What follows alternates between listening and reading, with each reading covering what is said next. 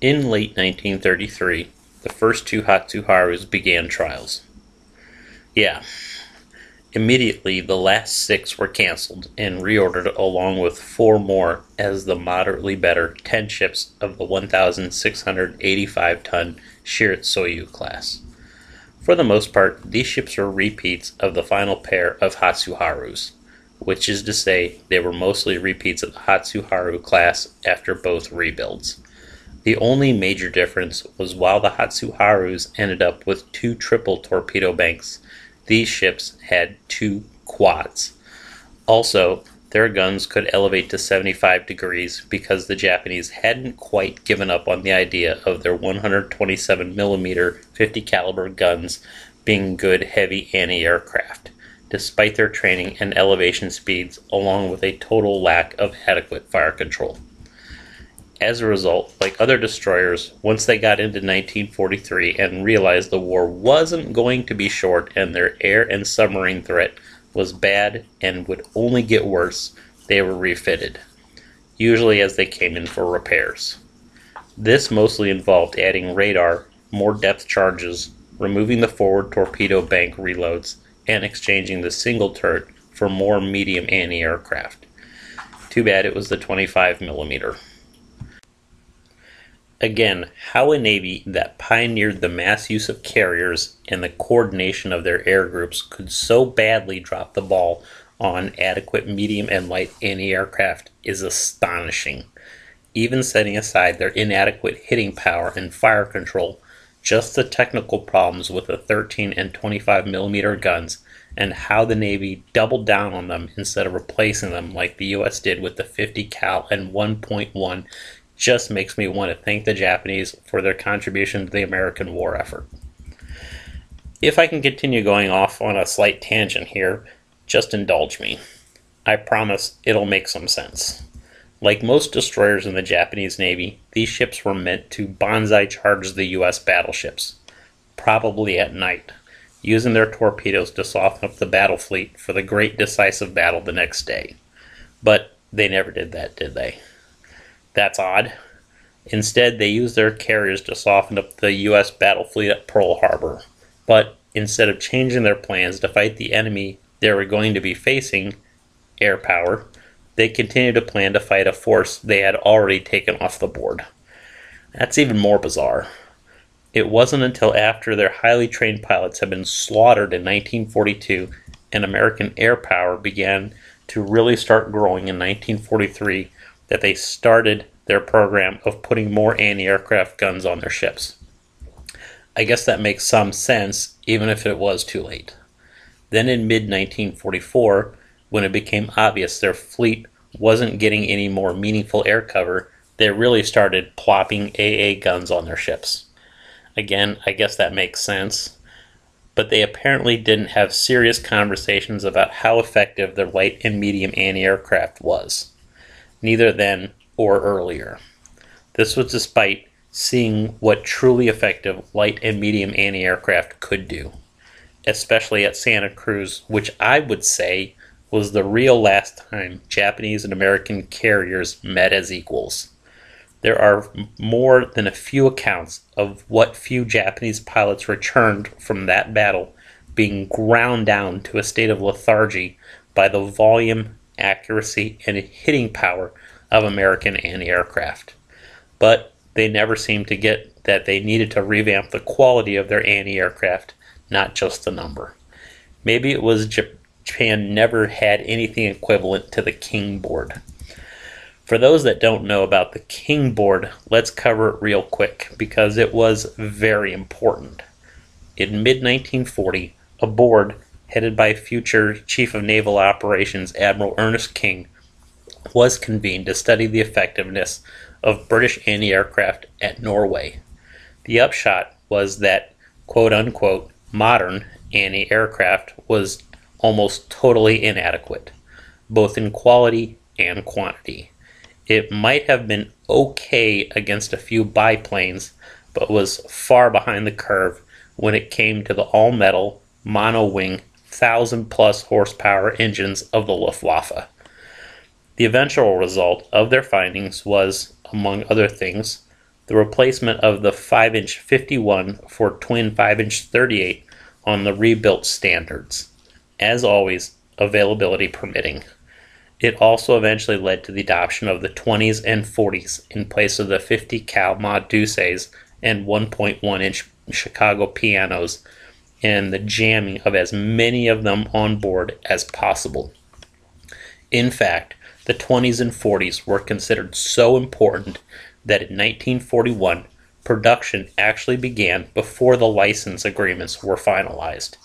It was due to the work of the King Board that American anti aircraft really started cranking up in late 1942 and just got better and better.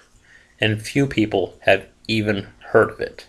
I guess we should also thank the British for turning over their lessons learned at Norway and Crete. Shiratsuyu was started November 14, 1933, and was completed August 20, 1936. Shigure was started December 9, 1933, and was completed September 7, 1936. Murasame was started February 1, 1934, and was completed January 7, 1937. Yudachi was started October 16, 1934, and was also completed January 7, 1937. Samidare was started December 19, 1934, and was completed January 29, 1937. Harusame was started February 3, 1935, and was completed August 26, 1937. Kawakaze was started April 25, 1935, and was completed April 30, 1937. Umikaze was started May 4, 1935, and was completed May 31, 1937.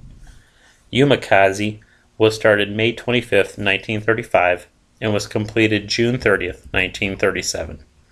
Suzukaze was started July 9, 1935, and was completed August 31, 1937. Main armament was five of the standard 127 mm 50 caliber guns in two twin and one single turrets. Again, these guns could elevate to 75 degrees. One twin turret forward on the forecastle, a single turret aft, back to back of the dual turret 3 on the main deck level. Torpedo armament was two shielded quadruple torpedo banks, one on a stand between the two funnels with two reload lockers behind it on either side of the rear funnel. The second was behind the rear funnel, lower on the main deck, with a reload behind it in the aft superstructure. This gave a maximum load of 16 Type 90 610 millimeter torpedoes. 18 depth charges were initially carried, but again, they had no sonar as completed. By the start of the war, though, Type 93 sonar had been fitted. Propulsion was provided by three boilers, each in its own room, end to end. The first two vented to the forward funnel, with the rear one venting to the rear funnel. These provided steam to the two turbines, each driving one of the two propellers to generate 42,000 horsepower for a speed of 33 knots. Major modifications mostly waited until well into the war, mostly being done as they came in for major repairs. Kawakaze landed her single 127 mm gun in exchange for more medium anti aircraft, Type 22 radar, and an increase in depth charges to 36 while undergoing repairs from March through May 1943. Harusame landed her single 127 mm gun in exchange for more medium anti aircraft, Type 22 radar, and an increase in depth charges to 36 while undergoing repairs from May through July 1943.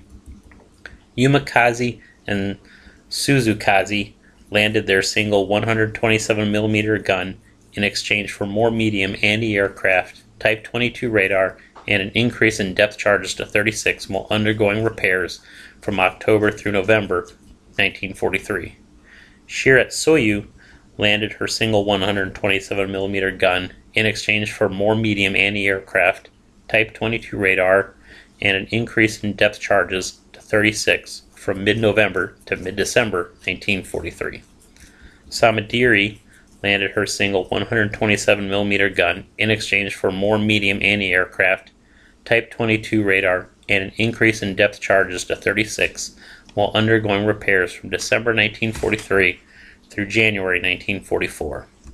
Shigure landed her single 127mm gun in exchange for more medium anti aircraft, Type 22 radar, and an increase in depth charges to 36 while undergoing repairs from March through May 1944.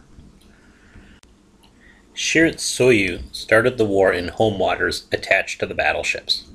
Next, she took part in the Battle of the Coral Sea. In June, she was part of the Aleutians invasion force.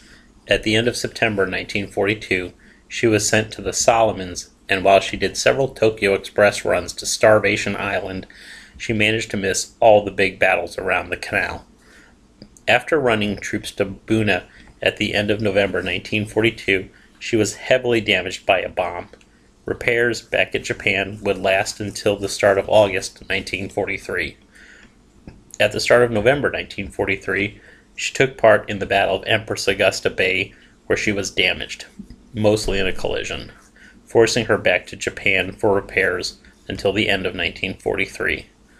While passing through the Surigao Strait in mid June 1944 on her way to the Battle of the Philippine Sea, she collided with one of the tankers she was escorting, which set off her depth charges.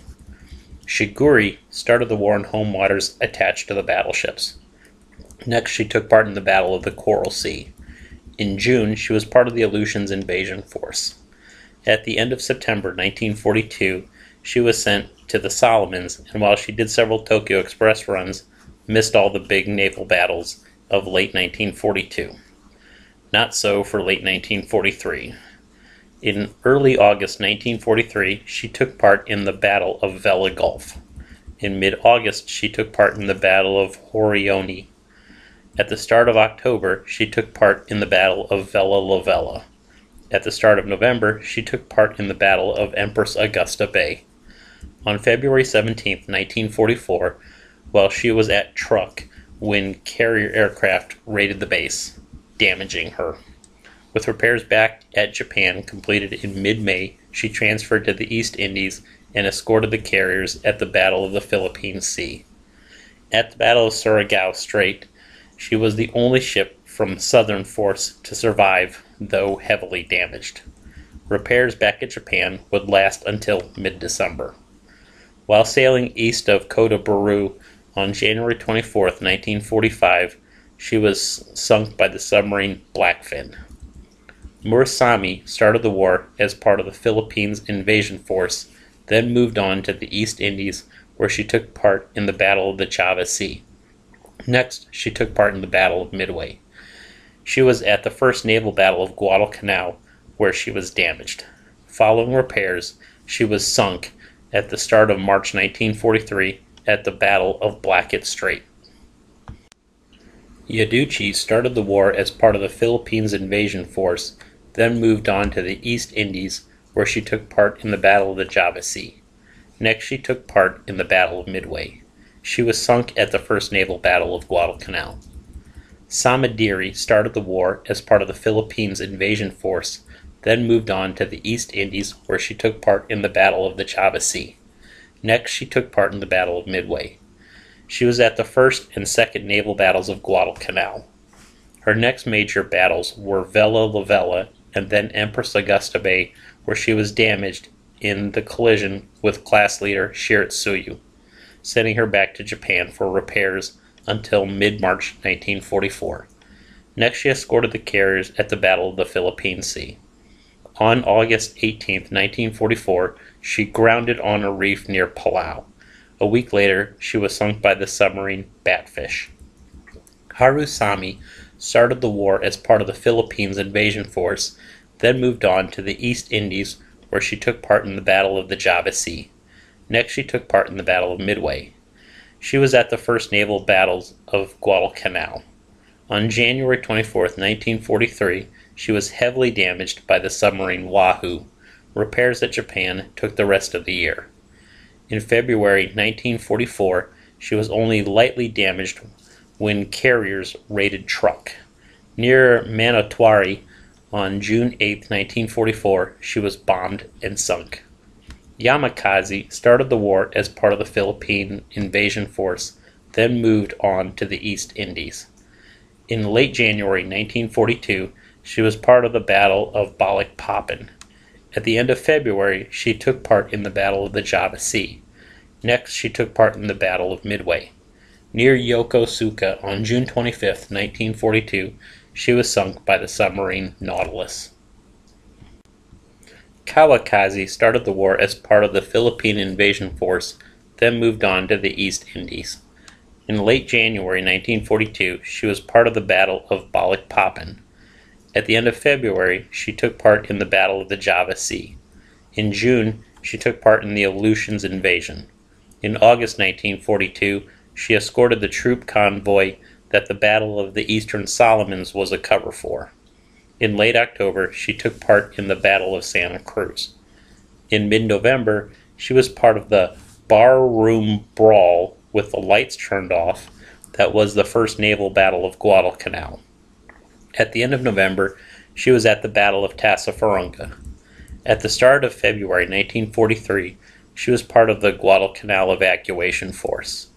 At the start of March 1943, she collided with a cargo ship so had to head back to Japan for repairs that would last until the end of May 1943. Back in the Solomons at the start of June 1943, she was sunk at the Battle of Vella Gulf. Umikaze started the war as part of the Philippine invasion force, then moved on to the East Indies. In late January 1942, she was part of the Battle of Balikpapan. At the end of February, she was escorting the transports at the Battle of the Java Sea. In June, she took part in the Aleutians invasion. In August 1942, she escorted the troop convoy that the Battle of the Eastern Solomons was a cover for. In late October, she took part in the Battle of Santa Cruz. In mid November, she escorted the troop ships during the naval battle of Guadalcanal.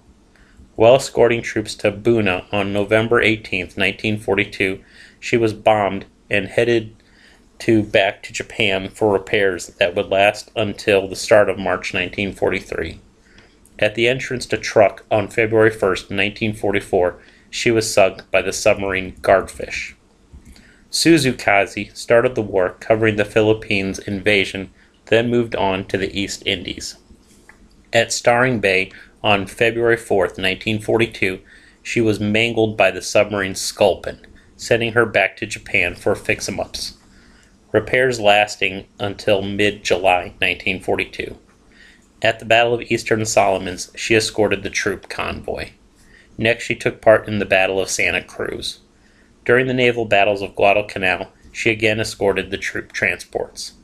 At the end of November 1942, she took part in the Battle of Tassafaronga. At the start of July 1943, she was at the Battle of Kula Gulf. Near Ponape on January 25, 1944, she was sunk by the submarine Skipjack.